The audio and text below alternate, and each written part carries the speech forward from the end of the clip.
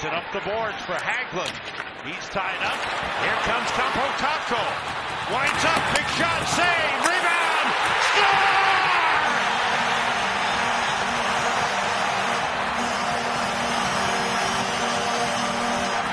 Mika Zibanejad.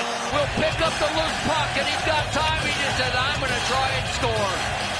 No hesitation on the shot, and Mika Zibanejad is able to get to the put it in. Here it is again. Hard, low shot. Samsonov just gets a piece of it, and it goes wide right back out. He doesn't know where it is, but certainly Zibanejad does.